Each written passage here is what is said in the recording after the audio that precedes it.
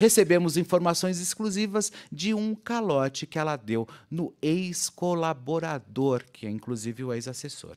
Ela jura que está com a conta bancária bem gorda. Entretanto, segundo nossa fonte, Fernanda não pagou os 5 mil reais, 5 mil reais, ao assessor que lhe auxiliou no gerenciamento de crises e de suas redes sociais. Inclusive, a parceria de trabalho entre os dois começou quando o nome de Fernanda estava no olho do furacão após ela expor o caso extraconjugal que teve com o craque da seleção brasileira continuando, tá, pessoal?